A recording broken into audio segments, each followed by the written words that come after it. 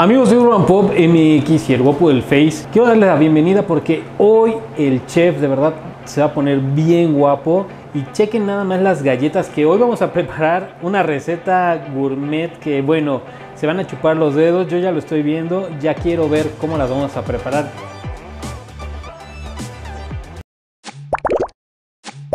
Él es el chef Raúl Díaz y bueno, chef, ¿cómo está? Gracias por invitarnos a su cocina. Ah, gracias a ustedes, pues estamos muy contentos. Fíjate que vamos a hacer una receta muy práctica para tus seguidores, para nuestros seguidores.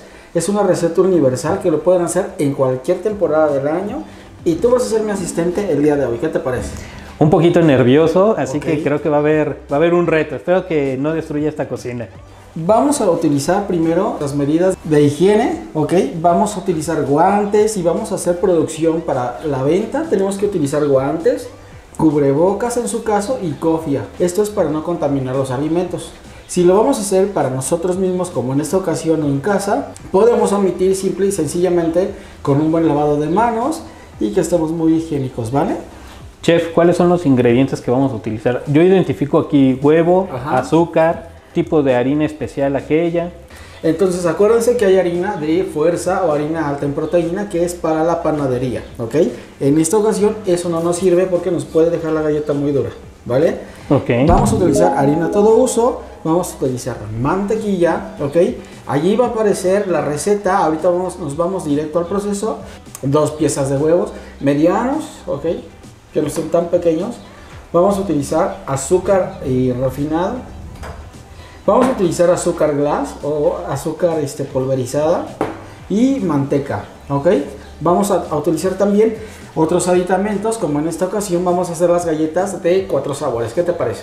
Bueno, ese cuerpo de ensalada no es, así que okay, okay. A, a, mí mientras más sabores me va a parecer increíble. Okay. De este lado yo ya los estoy viendo de reojo y ¿qué le parece chef si empezamos? Empezamos, perfecto. Vamos a, a, este, a cremar nuestra mantequilla, vamos a ponerlas en la batidora.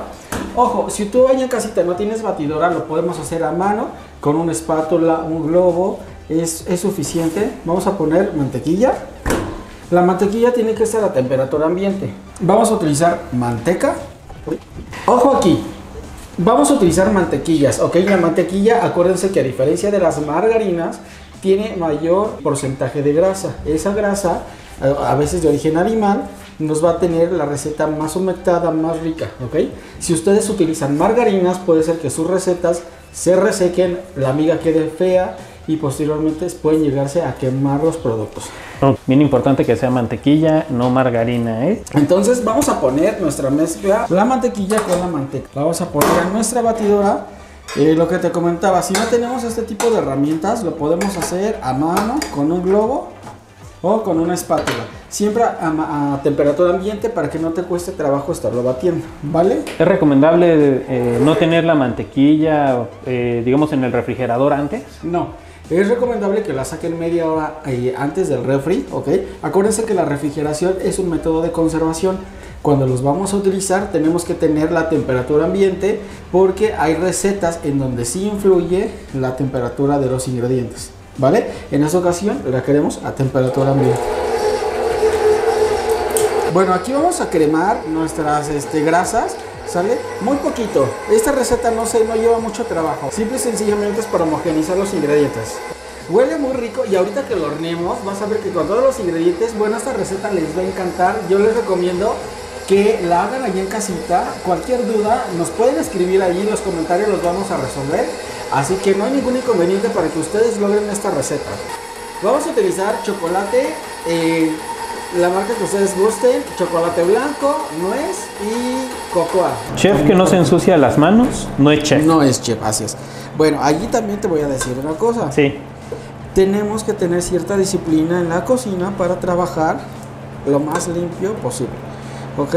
Acuérdense que la cocina es un, este, es un gusto hacer las preparaciones, pero hay mucha diferencia entre saberlo hacer correctamente o al ahí se va. Y al ahí se va. Vamos a cuidar solo esos detalles, pero tampoco es un inconveniente. Volvemos a poner nuestra mezcla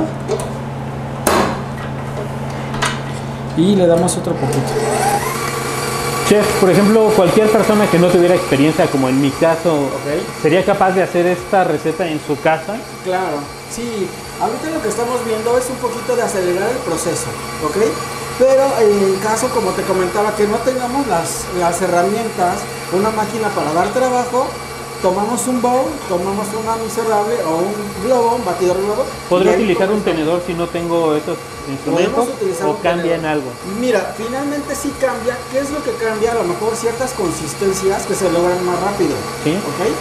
Pero eh, finalmente tenemos un resultado muy similar. ¿Ok? Pero hay que ser honestos. Sí llegan a cambiar un poquito en cuanto a tiempo y en cuanto a texturas. Ok.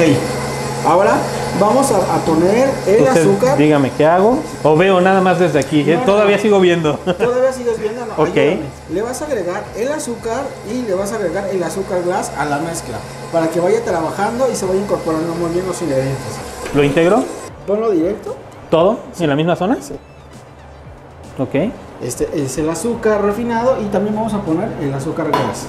¿ok? Para que no digan que no tiene mano santa, que no le estoy ayudando, ¿eh? Ah, perfecto, sí. Vamos a volver a incorporar poco a poco a velocidad baja para que no genere una nube de humo, ¿va? En uno de esos bow- en uno de esos eh, bowls vas a abrir las dos piezas de huevo Sí. completos. Bueno, varios, varios golpecitos. Acuérdate que aquí hay que experimentar, es como aquello que decía, toca, juega y aprende. Aquí hay que meter las manos, hay que sentir texturas, hay que saber cuál es el punto de cada cosa. Entonces, está bien que todo, todo esto lo vaya conociendo sensorialmente. Entonces, vas a agregar el huevo, por favor, aquí. Listo, yo sí le echo todo porque veo en los programas de televisión que le dejan ahí un pedazo y me da mucho coraje que desperdicien. Sí, así es.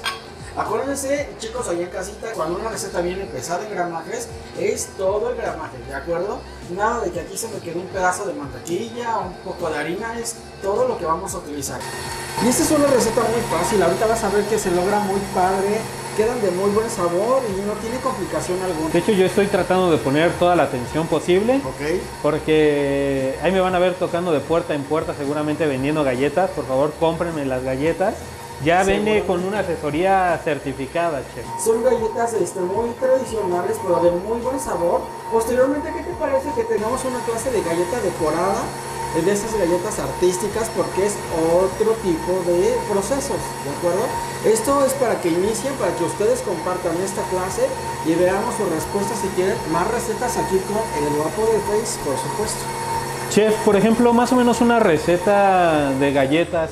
Aquí tenemos cuatro sabores, pero si nuestros amigos que nos están viendo en YouTube quisieran iniciar con un solo sabor, más o menos el sabor más básico, ¿cuánto gastaríamos en hacer esta cantidad de galletas? Ok, en hacer esto vas a gastar, o sea, que no tengas ingredientes eh, Premium. demasiado rebuscados. Prácticamente sería una galleta de chocolate o de vainilla o un red velvet que no lleva mayor cosa. Este, yo creo que te gastas unos 120 pesos y te salen alrededor de 50 galletas. Wow, ¿no? Es, muy, cos- es muy costeable esto, eh, sin embargo, por eso se tiene que lograr bien las recetas. Bueno, aquí tenemos la mezcla, chicos. La mezcla de las grasas, mira, es un betún consistente, Sí, veo que se queda pegado, ¿no? O sea, y la textura ya se siente suavecita, ¿no? y huele bien rico, ¿eh? Y huele excelente. Aquí ya tenemos huevo, las azúcares y las grasas, ¿vale? Ok, Entonces, tú me vas a ayudar, yo te voy poniendo la, la harina sí. ¿Yo le bato? y tú le vas mezclando, ¿va? Mira, muy bien, te voy a ir poniendo la, la harina. Ok. Para eso voy a necesitar otra miserable, por favor. Pero ¿por qué otra miserable? ¿Qué le hicieron? Ah, ¿Le rompieron el corazón? no, así se llaman estas herramientas porque devastan todos los ingredientes. y Es no esta. Pásame un bol grande para vaciar esto porque lo vamos a manipular con las manos, Lara. Ahora me vas a ayudar, vamos a verter nuestras grasas en este bowl porque vamos a comenzar a incorporar la harina y posteriormente vamos a utilizar nuestras manos para hacer esta mezcla. Ok, ¿lo vierto así? Sí, perfecto. Con la miserable, Con la que le duela. Sí, Ahí por si alguien nos hizo daño, aquí ya, se van a ir. no, cálmate porque sí puedes hacer daño con la comida. No, no, no. No, no. Entonces. Me estaba acordando de la miserable, de la última Ah, miserable. ok, ok, ok. Que es esta palita, ¿no? No, ok, bueno, sí, hay que ser muy claros en esto. Porque Sí, sí, sí. Sí pueden llegar a hacer daño con una comida malintencionada. No, no, no. Vamos Hay que cuidar muy bien las temperaturas, ¿no? Hay Para que no se nos eche a perder. Exacto. Aquí si te das cuenta, por eso es miserable, porque devasta muy bien todos los ingredientes y no queda nada de nuestros tazones. Ahí la llevo, ¿eh? Ahí la llevo. Bien. Ahora vamos a ponerle, vamos a perfumar nuestra mezcla con Ok. vainilla, ¿ok? Amo la vainilla, usted dígame, está de este lado, ¿verdad? Ah, perfecto. Lleva a agarrar el alcohol etílico. Ok, ok. Esta es una vainilla transparente, es una vainilla blanca. Esto es para perfumar nuestra masa, porque acuérdense que vamos a dividirla posteriormente. Vamos a mezclar, por favor. La vainilla que le echamos tiene bastante concentración y aparte no altera el color de nuestras recetas. Por ejemplo, si vamos a hacer un pastel para bodas, para primera comunión o tonos muy claros o que yo quiero que un betún o una mezcla me quede blanca o lo más parecido a lo blanco, no voy a utilizar la vainilla ámbar porque eso sí me deja el terminado cremoso como tono crema. Vaya, Ah, ok. Importante. importante. ¿Qué tal si es postre para boda y nos queda negro en lugar de blanco? Vamos a pasar la harina por un colador, simple y sencillamente para airear la harina, para hacerla un poquito más ligera, ¿ok? Y si tiene algunos restos de, de las hojas o de que no se pulverizó bien, también los retiremos, ¿va? Nada más con esa intención. Por ejemplo, aquí estas bolitas, estas piedritas que quedan, yo las retiro porque no es mucho. Y seguimos mezclando poco a poco. Suavecito. Suavecito. Porque Sí, por ahí nos estaban contando, ¿no? Que ha viajado por diferentes países a dar cursos y cosas por el estilo, ¿no, Chef Raúl? Sí, así es, tuve la, la oportunidad, tuve la, la fortuna de que me invitaran, me invitan a diferentes festivales, a exposiciones de repostería, en donde imparto clases, imparto clases demos, imparto cursos. Entonces he viajado, por ejemplo, a Brasil, a un evento muy importante de allá, y próximamente vamos a estar en muchas expos, así es de que no se despeguen, aquí estén al pendiente y tú me vas a acompañar a esos eventos. Ah, ya dijo, ¿eh? Porque vamos a seguir haciendo muchos videos para que, pues, todos, todos en Urban Pop MX y en el Guapo del Face vean que Masterchef se va a quedar bien chiquitito, ¿eh? Ya está para comerse quizás. Huele O está muy crudo. No, no, no, esto está crudo. Esto está crudo y acuérdense que el harina empache y aparte tenemos un perecedero que es el huevo. Entonces si el huevo llega a estar contaminado, que no nos damos cuenta y nos los comemos crudo, pues bueno, sí podemos tener alguna infección. Ay, ahí. importante que no le estén picando. Exactamente, no tendría que ser así, pero bueno, seamos honestos, aquí no se le antoja de pronto meterle el dedo a una masa cruda, ¿no? O sea, pero vamos a tratar de no hacerlo o que no lo hagan los pequeños, porque si tenemos el sistema inmune bajo o que no estemos muy bien, ese alimento crudo trae algún tipo de bacteria Sí. o de microorganismo que nos va a afectar, pues sí puede haber consecuencias, ¿vale? Oiga, Chef, no sé si lo estoy haciendo bien. Sí, lo que pasa es de que ya es hora de meterle las manitas. Vamos Ok. a quitarle, exacto. Y ahora sí, tú bien dijiste, vamos a comenzar a amasarlo. ¿vale? Ok, Vamos a poner todo el resto de la harina, ok. ¿ok? Y es momento que tú le metas las manitas para que vayas homogenizando con la temperatura que tienes en tus manos. Ok, el y calorcito. los ingredientes, vale. ¿Hay alguna forma en que lo amase en especial o así está bien como lo Así estoy haciendo? Yo sigo haciendo aquí. No Sí, se sí, sí, Sí lo estoy amasando bien porque de repente como que siento que no sé qué estoy haciendo, Mira. pero como que siento que no toda la logro amasar bien. Pero mira. sí, o cuál es la técnica? Así nada más trabajas lo de arriba.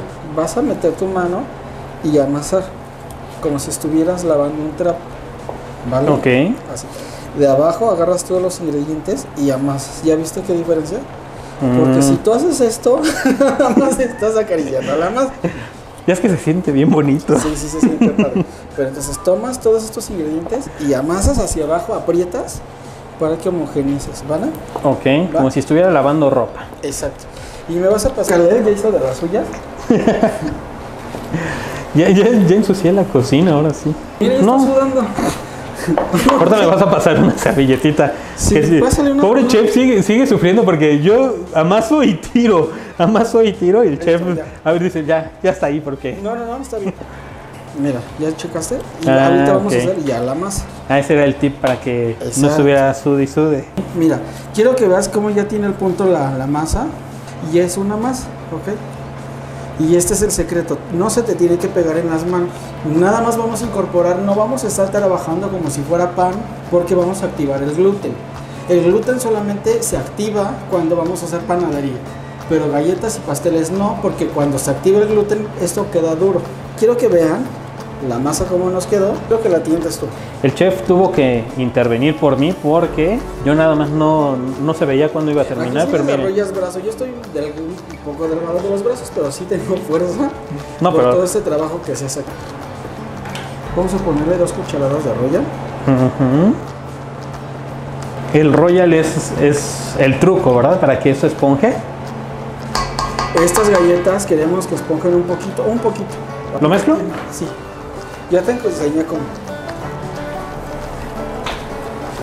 A ver, segu- se- según yo, ya estoy Ah, ya haciendo la de la ropa. Pero miren, No, ¿cómo, ¿cómo, se, ve- ¿Cómo se ve que, que aquí el vapor del face se echa toda la lavadora? me hace falta un, un- ¿Cómo se llama eso, señor productor, donde usted le talla? Un lavadero. Un lavadero, un lavadero. Ahora sí. Porque no queremos activarle el gluten, si no se va a hacer duro antes de que lo horneemos. Exacto. Nada más voy a incorporar un poco, ¿va? Ok. Eso quiere decir que no lo hice bien. No, sí, sí, nada más estoy. Una manita, una manita.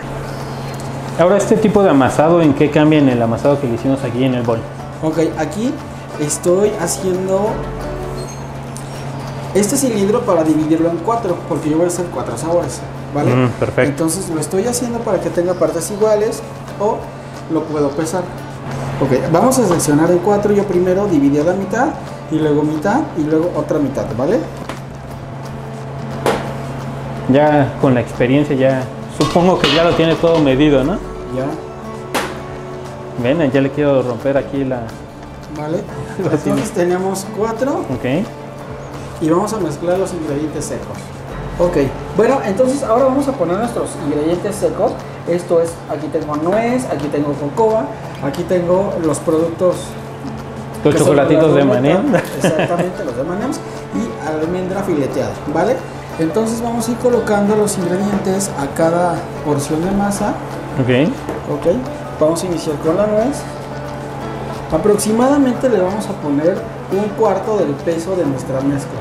Aquí le voy a poner bastante nuez porque yo quiero que, que, que mi galleta quede espectacular, o sea, que la nuez no se pierda en la masa. Entonces fíjate la cantidad, yo estoy poniendo un tercio Sí. aquí, ¿vale? Entonces me vas a apoyar. Vamos a amasar otro poquito. Como si fuera una gordita, ¿lo agarro? Y yo voy a hacer lo respectivo. Eso es cocina gourmet, pero yo digo gordita porque es a lo que estoy acostumbrado. ¿eh? yo voy a hacer lo respectivo con las lunetas de chocolate, ¿va? Se me está haciendo agua la boca. Ahorita que las pruebes, no hombre. Bueno, aquí yo tengo mi pasta lista. Y vamos a continuar con la cocoa y la almendra. A ver si lo estoy haciendo bien. Excelente. Nos falta un poquito de. Mira, Me encanta el chef porque dice que lo hago excelente, pero él lo termina de hacer porque no. sabe que no lo estoy haciendo bien. no, no es eso, nada más te estoy dando el punto. Porque aparte ya quedé que me voy a poner a vender galletas también, ¿eh? Entonces Así tienes que que aprender bien. Yo quiero que vean ahí en casita cómo tengo bastante cantidad de semillas en mi, mas- en mi mezcla. Que es lo que va a hacer que estén riquísimas, ¿va? Que cuando le damos un mordisco a la galleta diga, esto es de nuez, esto es de, de chocolate blanco, que no se pierda en todo. Ya tienes tu... yo ya tengo, pero ya no sé qué le voy a echar. Le vamos a poner almendra Ok, fileteada. perfecto. La técnica de la gordita. Exactamente. Esa sí más o menos me la sé porque sí, sí se la he visto a la señora. Pero sí huele bien rico, ¿eh? Sí, sí, bueno, ahorita que, que se horneen vas a ver que quedan increíbles. Ah, sí nos va a dar. sí, sí te voy a Ah, bueno. Mm. Creo que es la primera vez que estoy cocinando realmente un postre en mi vida. ¿En Nunca serio? había hecho un postre. Huevos revueltos con jamón, eso sí lo sé hacer bien. ok. En todas sus variaciones, los huevos estrellados me salen bien. Aquí a mi mezcla de chocolate voy a poner trozos de chocolate blanco. ¡Qué belleza! De una, de una marca rica para que también le dé el levantón a mis galletas. Aquí también si quieren le pueden poner un poco de semillas. Este chocolate que estoy utilizando es un confitier, son coberturas que se tienen que temperar para lograr trabajar la chocolatería. En este caso lo estoy aventando directo porque yo no lo voy a temperar, solamente quiero que enriquezca mi receta, ¿va? Para que queden los trocitos ahí, Para que ¿verdad? queden los trocitos adentro. Si utilizan chocolate sucedáneo, pues es pura grasa. Vamos a tener cuidado, mira. Te voy a poner un poquito de leche Sí. y te voy a poner un poco de cocoa. La receta de Red Velvet lleva el colorante y cocoa, ¿vale? Para que quede un rojo intenso. Luego la galleta va a salir toda, Pinta, toda pinta. toda dispareja. En lugar de ser de Red Velvet, va a ser la galleta dálmata. La dálmata, ¿no? Muy bien, mira. Ya tenemos nuestras cuatro masas. Sí. Yo quiero que veas qué padre se ve simplemente en los colores. Tenemos red velvet, chocolate con chocolate blanco, vainilla con nuez y vainilla o mantequilla con este, las donetas de chocolate. En este momento mi grupo de Boy Scouts de cuando era chiquito está muy desilusionado de mí. No aprendiste. Nos ponían a vender las galletas, pero no a hacerla, chef. Ah, ok. pues vamos a utilizar esta medidora como referencia para hacer nuestras galletas. Tú las puedes hacer a mano o las puedes pesar, ¿ok? En esta ocasión vamos a utilizar esta tacita medidora que aproximadamente serán como 70 gramos de masa. Ok. Y hacemos lo siguiente, metemos nuestra mezcla, la retiramos, boleamos muy poquito y ponemos en nuestro tapete de silicona, ¿va? ¿Cuál es la diferencia de utilizar el tapete de silicona, chef, a Sí. utilizar el papel encerado? Ok, la diferencia es, por ejemplo, pues la, la galleta eh, tiene una temperatura homogénea, ok, no se va a quemar de un lado y otro va a salir parejita. Aparte de que esto nos aporta una textura interesante en la parte de abajo, sobre todo cuando vamos a hacer galletas eh, Gourmet, artísticas, artesanales. artísticas. Y por ejemplo, esto las puedes reutilizar siempre. Y el papel encerado lo puedes utilizar dos veces o a veces nada más una sola vez. Ah, ok. A la larga sale mejor el tapetito. Sí, por supuesto. Bueno, una vez que tengamos ya nuestras galletas este, montadas aquí, como, como las montó aquí nuestro amigo en el guapo del Face, las vamos a llevar a refrigerar por 15 minutos y posteriormente las vamos a meter a hornear por otros 15 minutos a 170 grados centígrados. 15 minutes later. Vamos a poner todas estas charolas al horno, como les habíamos dicho, 170 grados o si es un horno convencional de casa, 180 grados por 15 minutos. Hay que dejarlo calentar antes. Si el horno se tiene que precalentar, ojo ahí.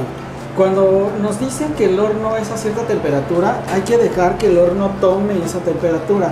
¿Por qué motivo? Porque si nosotros metemos un producto o una preparación antes, tenemos un periodo de ventana en donde de los 30 grados a los 100 grados se pueden este, proliferar muchos microorganismos. Entonces no es lo mismo que tú lo metas a 180 grados a lo que es, es la cocción, a que lo metas desde que prendes el horno y entonces se van desarrollando muchos gases que generan las mismas bacterias. 15 minutes later. Chef, ya terminó el martirio. Ah. El olor ya salieron del horno después de 15 minutos en el refrigerador, 15 Exacto. minutos en el horno para que vea que le estoy poniendo atención. Perfecto. Y aquí está la obra maestra. Aquí está nuestro resultado, vean qué delicioso se ve y si ustedes pudieran oler, Huele riquísimo. pues mira, yo quiero que vean qué, qué espectacular se ven los- las galletas terminadas, los este, la- el manejo de texturas, de colores y pues nada más resta que enfríen un poquito y las vamos a poner en, unos, eh, en unas cajitas, en unos botes para regalar a quien tú quieras, para la venta. Podemos hacer ahí un giveaway para quienes nos está viendo. Así Que es. se pongan las pilas, ahí ponemos alguna mecánica sencilla, que nos sigan, que lo sigan en sus redes Así sociales, en es. Instagram. Que por cierto, ¿cuál es su Instagram? Mi, Insta- mi Instagram es chef Raúl-Díaz. Es el único Instagram en donde aparece mi foto. Y échenme la mano porque, bueno, me volaron una cuenta anterior. Entonces vamos a volver a comenzar este, con nuevos seguidores. Y ahí vamos a estar subiendo todas estas recetas y más para que ustedes lo pongan en práctica y en su casa. ¿Qué te parece? Y también tiene un canal de YouTube. También tenemos un canal de YouTube que se llama Reposteando con Raúl Díaz y ahí van a encontrar recetas, van a encontrar decoraciones y entre más material que vamos a ir subiendo poco a poco. Pues usted dice que, que sigue, chef. envasarlas, vamos a ponerlos en, la podemos poner en unas cajitas muy atractivas, en celofán, en algunos frascos de cristal, dependiendo para quién lo vayas a regalar o si lo vas a vender. Entonces vamos a ponerlos y así es como vamos a finalizar este delicioso proyecto. Así es como hemos llegado al final de esta receta increíble.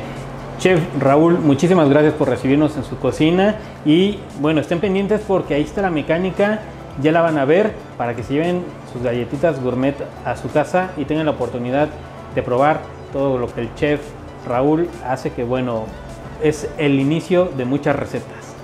Así es, seguidores, pues no dejen de darle su- darnos un like, regalarnos un like, sus buenos comentarios y recuerden que los ingredientes van a estar ahí apareciendo en pantalla. Y pues bueno, fue un, un gusto estar con todos ustedes. Nos vemos muy pronto. Chao.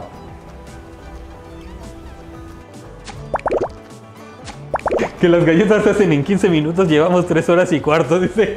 Vamos a cambiar de lugar. Ya puedo pagarte este, ¿verdad? El micro.